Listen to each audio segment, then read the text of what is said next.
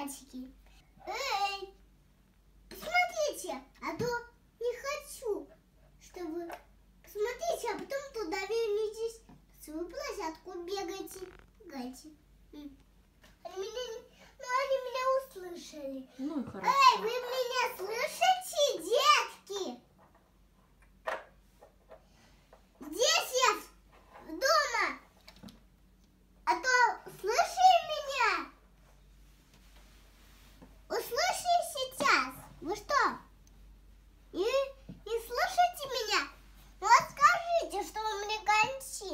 мама, скажу, что у меня карантин.